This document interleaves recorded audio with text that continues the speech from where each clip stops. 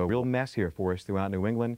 This is going to be a real interesting day to watch the Weather Channel and stay tuned for more on Weather Center. There's a lot to discuss. We'll have a discussion too and look at its specific impact on your travels coming up next. Stay tuned.